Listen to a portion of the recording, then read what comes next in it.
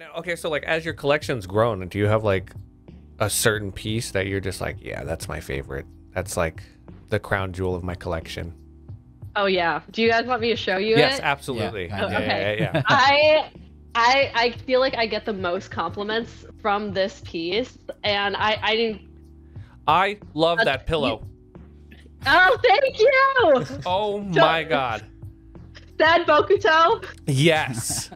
I yeah, I love him. He's my favorite. Oh god, I love when he gets fired This Oh, this is damn. my, my God. favorite piece. Wow, I've Yeah, never seen that before. She was like a limited edition um piece. Like I don't think you can get her now. It was I got her like pre-ordered like and waited a year for it to come yeah. in and I was like Oh my so gosh, pretty. that is immaculate. and it's and I love how like the shoe hangs off too. Mhm. Like Yeah, the attention. off, Oh, that's so cool. Oh, that's sick. yeah, like the attention to detail and like the book can come off nice. and everything. Yeah, it's really nice. That is I a, love her. that is so- a really nice piece. Yeah. Oh, I'm really tempted to ask how much was that? This actually is not my most expensive piece. This Oh, one okay. was around hundred and sixty dollars. oh, not bad at all. Yeah, yeah. For a resin statu- statue, I feel like it's pretty good. Definitely not. I mean, one hundred sixty dollars is still one hundred sixty dollars. It, it is, yeah, no. For someone who has like no interest in collecting stuff like this, it'll be like you spent $160 on it. But I'd be like, Mhm. damn right I did. Fact. I'm Yeah. considering spending $160 on a video game. so Don't judge me. Um, Yeah. um, and I'm really sorry, but I'm super curious now. What is Mhm. your most expensive thing?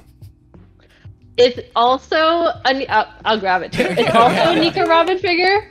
Um, yes. Careful. If you can't, of course, it's a Nico Robin figure.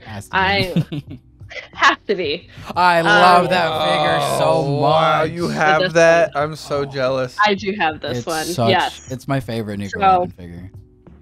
Really? Yes, 100%. I when it went back on because I think they originally sold this years ago before I became a collector, and then they redid. They're like, oh, let's like revamp it and do like another pre-sale. So I was like, okay, I'm gonna hop on this opportunity because Mhm. now I'm a collector. I'm just gonna get it. This one was, I think, like after taxes and shipping was like two hundred and ninety or two hundred eighty dollars. Still not bad. That's not horrible. Yeah. Yeah, no. Yeah, no, still not horrible. I I haven't quite reached buying, you know, those like thousand dollar statues. Those ones are crazy. That's okay. But I actually, way. yeah, I did just pre-order one, an, another Nico Robin figure though.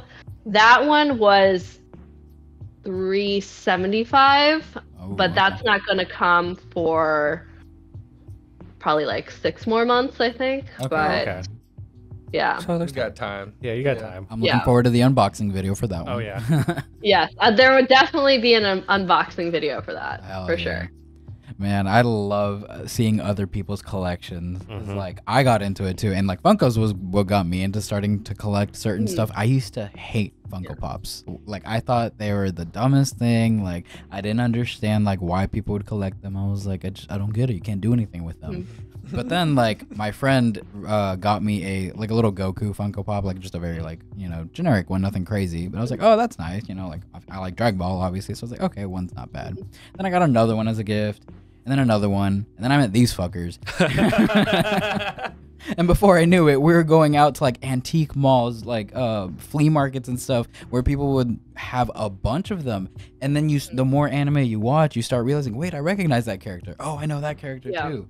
And you're like, well, I mean, I, I might as well get it a friend, you know. I get it, a friend. I love that. And before I knew it, I had so many Funkos. Like I literally looked at my entire collection, and I recently moved uh, earlier this past year.